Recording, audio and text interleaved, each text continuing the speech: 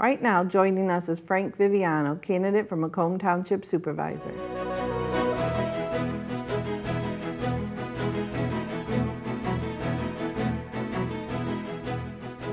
Hi, Frank. Thanks for joining us today. Thank you for having me. As your opening statement, um, please tell us why you have chosen to run for uh, the supervisor. Well, I've been here for 20 years or more, actually a little bit more than 20 years, my wife and I. Uh, we now have two young kids that we're raising. And I think with a lot of people um, who are like me, who have children, and anybody who's been attentive to the political climate in our township, uh, you know, I've gotten frustrated. Uh, I've seen the opportunities they've squandered, uh, the infighting and the corruption that's been making all the headlines. And I got to a point where I decided I wanted to do something about it. I reached a point in my life that um, I think I can make a difference. And I think with my leadership, the township can finally get back on track and we can start to really be everything that I thought we were when I first moved here. What are the two biggest challenges you see facing Macomb Township?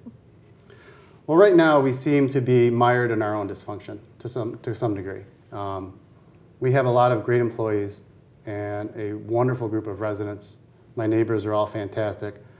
But because of the dark cloud that the scandals have caused, uh, there seems to be a lot of suspicion, finger pointing, and infighting at the township board.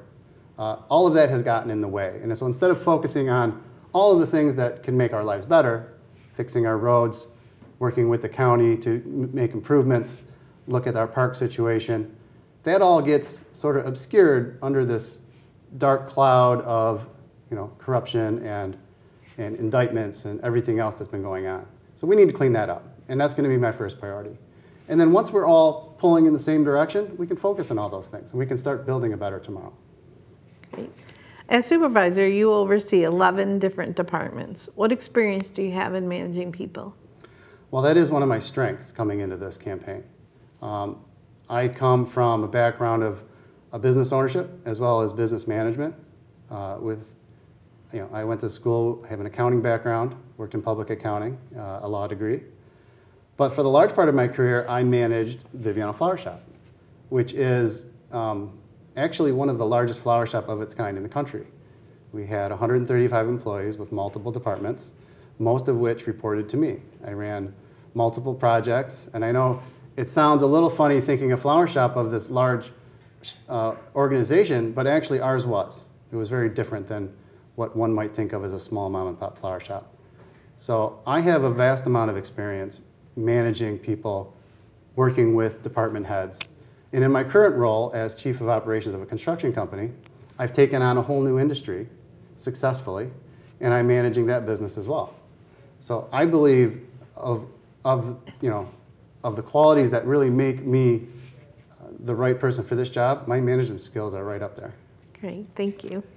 The township super, supervisor is often seen as the face of the township. What will you do to make sure the township is seen in a positive light? Well, that's an interesting question. I, I just had this conversation with uh, one of our high school students, uh, and I was telling him and his parents that one of the things that is most concerning, um, especially not just in Macomb Township, but all of our area, is that our talent continues to leave the state. You know, graduate from these wonderful universities, U of M, Michigan State, uh, but there's no jobs here for that level of talent.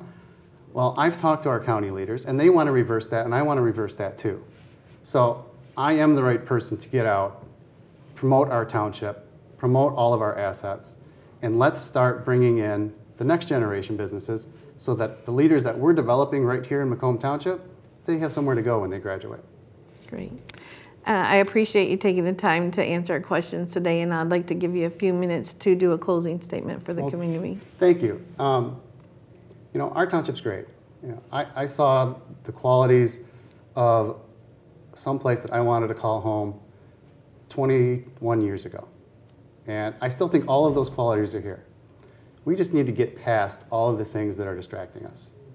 And I think with all the experience that I bring, and with a fresh set of, you know, a fresh voice on the board, someone who can really unite everybody under common purpose. And I just want to focus on common ground. And I'm happy to disagree with people. That's part of the process. But I'm going to do it in a way that's polite, professional, and allows us to continue to move forward despite any differences we might have. Great, thank you for joining us today. Thank you.